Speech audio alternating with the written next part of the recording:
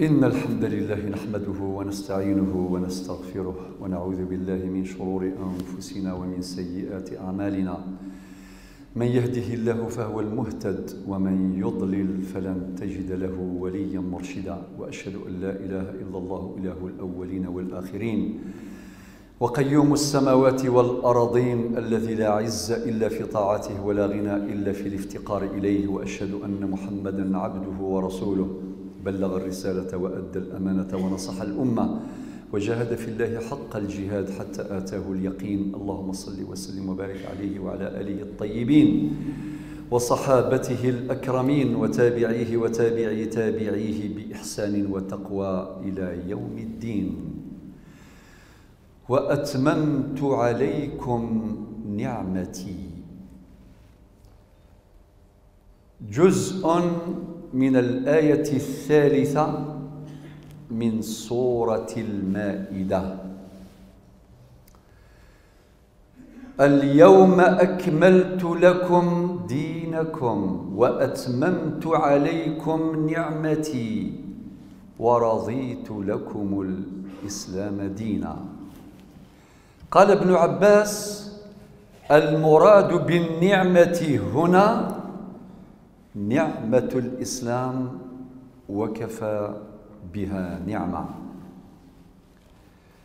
قال تعالى يا أيها الذين آمنوا اتقوا الله حق تقاته ولا تموتن إلا وأنتم مسلمون. وقال في آية أخرى ومن يبتغي غير الإسلام دينا فلن يقبل منه فلن يقبل منه وهو في الآخرة من الخاسرين. نسأل الله الهداية للجميع. ما فائدة الدنيا إذا عاش الإنسان في هذه الحياة؟ في قمة النعيم الدنيوي. يتمتع بجميع النعم ما لا نحصيه عددا. نعمة الصحة نعمة الجاه نعمة المال نعمة الولد كل النعم لو عاش في هذه النعم طول حياته ولكنه مات على غير دين. مات على غير الإسلام. ما فائدة هذه الدنيا الزائلة؟ وهي أقصر من أن نقصرها. لأن الحياة الحقيقية الدائمة هي التي تبدأ بعد الموت. وصدق الله إذ يقول في سورة الملك الذي خلق الموت والحياة ليبلوكم أيكم أحسن عملا. فالحياة الأبدية تبدأ بعد الموت في دار القرار. لا وجه للمقارنة بين الدارين. لا وجه للمقارنة بين الحياة الدنيا الفانية والحياة الأخروية الدائمة. لذلك إذا عاش مسلما فهو يتنعم بأعظم نعمة في الوجود هي نعمة الإسلام. لذلك ربنا كان حريصا على أن تكون نهايتنا على الإسلام. فقال ولا تموتن إلا وأنتم مسلمون. هذا الإسلام هو الذي يحسن حياتنا. الأسرية الاجتماعية الاقتصادية في جميع مجالات الحياة. لماذا؟ لأن الإسلام جاء به القرآن والقرآن قد اكتمل وبه اكتمل الدين كما سمعنا هذه الآية التي كانت مسبوقة بآية أخرى. حيث يقول ربنا جل جلاله في سورة المائدة اليوم يئس الذين كفروا من دينكم فلا تخشوهم واخشون اليوم أكملت لكم دينكم وأتممت عليكم نعمتي ورضيت لكم الإسلام دينا. فالإسلام قد اكتمل على أربع مستويات على أربعة مستويات. المستوى الأول هو المستوى الإيماني فالإيمان قد اكتمل. والتوحيد بين جلي. في سورة البقرة في الآية 256 فمن يكفر بالطاغوت ويؤمن بالله فقد استمسك بالعروة الوثقى لا انفصام لها. وفي سورة الإخلاص قل هو الله أحد. وفي سورة الأنبياء الآية 25 وما أرسلنا من قبلك من رسول إلا نوحي إليه أنه لا إله إلا أنا فاعبدون. وقد اكتمل الدين في المجال التعبدي إلى أن يموت الإنسان لقوله تعالى واعبد ربك حتى يأتيك اليقين أي الموت. وفي سورة الفاتحة إياك نعبد وإياك نستعين وفي سورة الذاريات الآية 56 وما خلقت الجن والإنس إلا ليعبدون واكتمل في المستوى الثالث وهو المستوى التربوي الأخلاقي ونحن في أمس الحاجة إليه خاصة في هذا الزمان. حيث نشهد زلزالا عنيفا على منظومة القيم.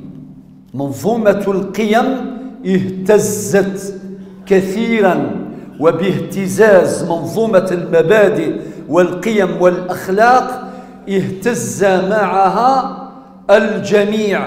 اهتزت الأسر والمجتمعات بل البشرية قاطبة تهتز كثيرا لاهتزاز منظومة الأخلاق.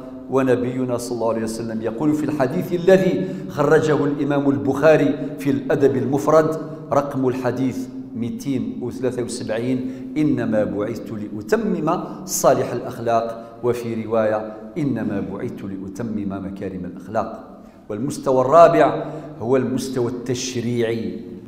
الأحكام الشرعية الضابطة لحركة الإنسان في جميع المجالات في الأسرة بين الجيران في المعاملات في السوق في جميع مجالات الحياة. نعمة الإسلام. أستغفر الله لي ولكم. الحمد لله رب العالمين والصلاة والسلام على أشرف المرسلين وأشهد أن لا إله إلا الله ولي الصالحين. وأشهد أن محمدا عبده ورسوله خاتم النبيين وإمام المرسلين. بعد نعمة الإسلام تأتي سائر النعم. تأتي نعمة العقل الذي شرفه الله عز وجل وذكره في القرآن بوظائفه أكثر من ألف مرة. ذكر في القرآن الكريم بوظائفه. ومن أدلة ذلك ما قال ربنا في سورة آل عمران الآية 190 إن في خلق السماوات والأرض واختلاف الليل والنهار لآيات لأولي الألباب لأولي العقول لأولي الألباب الذين يذكرون الله قياما وقعودا وعلى جنوبهم ويتفكرون والتفكير مهمة العقل ويتفكرون في خلق السماوات والأرض. ربنا ما خلقت هذا باطلا سبحانك فقنا عذاب النار. القرآن الكريم ذكرنا بالعديد من النعم نعمة العقل نعمة الصحة نعمة القلب نعمة اليدين نعمة الرجلين نعمة العائلة نعمة الوالدين نعمة الأجداد والجدات نعمة, نعمة الإخوال والعمات والأعمام والخالات نعمة الأحفاد كل نعمة المال والأرزاق. نعم لا نحصيها عددا. قال ربنا في سورة إبراهيم وإن تعدوا نعمة الله لا تحصوها. لا نستطيع إحصاء قيمة وقدر نعمة واحدة.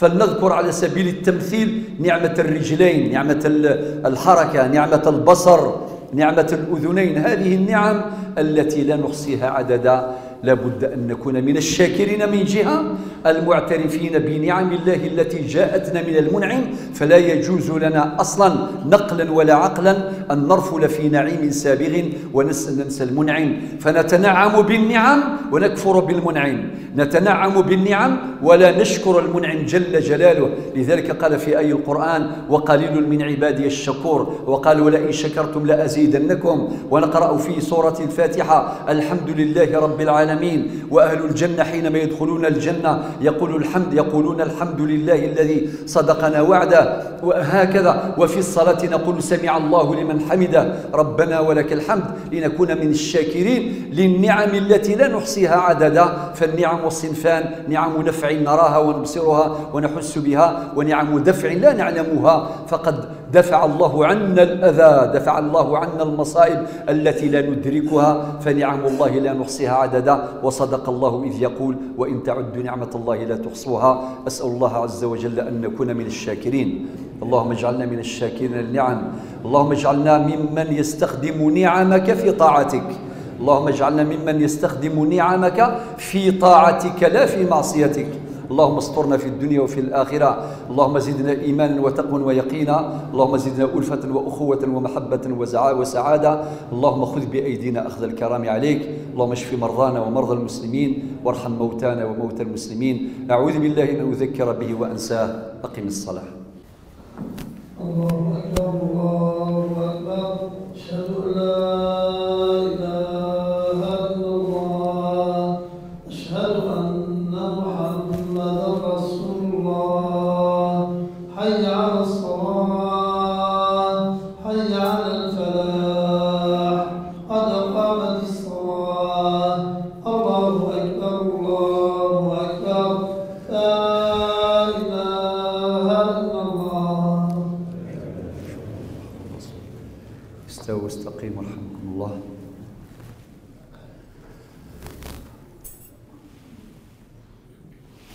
الله أكبر.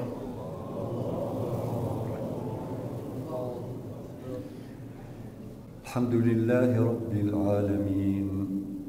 الرحمن الرحيم. مالك يوم الدين. إياك نعبد وإياك نستعين. اهدنا الصراط المستقيم. صراط الذين أنعمت عليهم غير المغضوب عليهم ولا الضالين.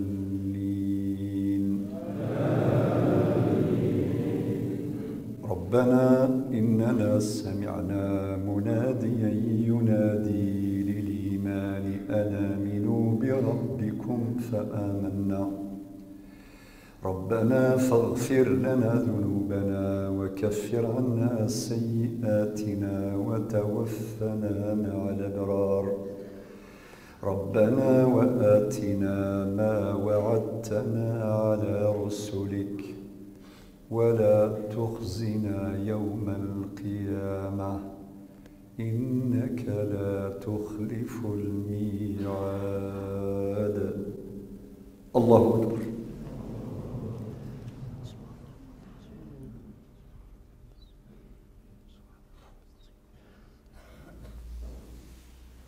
سمع الله لمن حمده. الله أكبر.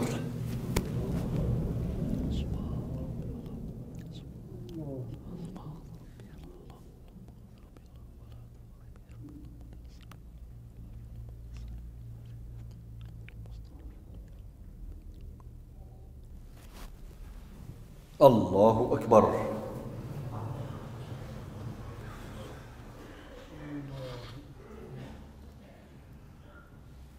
الله أكبر.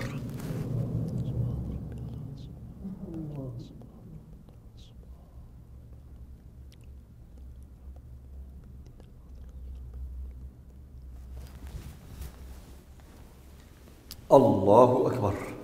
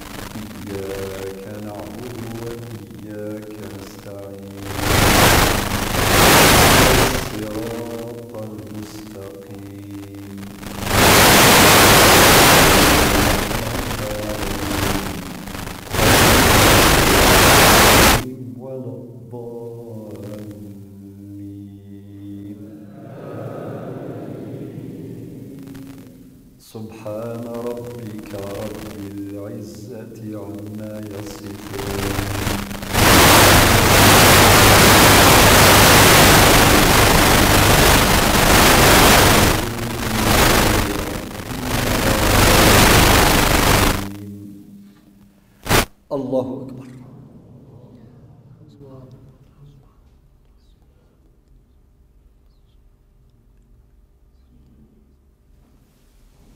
سمع الله لمن حمده. الله أكبر.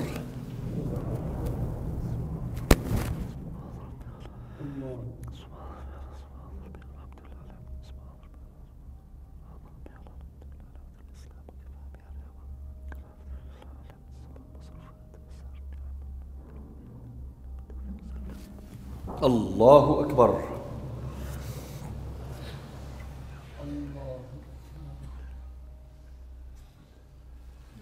الله أكبر.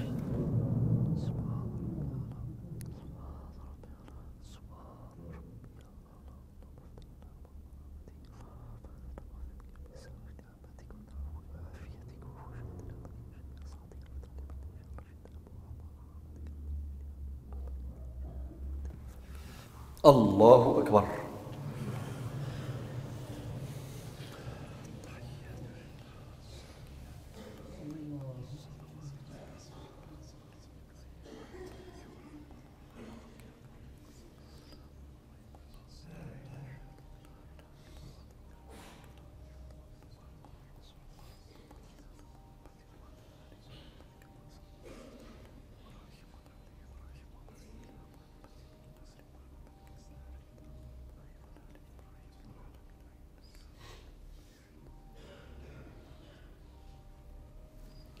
السلام عليكم ورحمة الله. السلام عليكم ورحمة الله.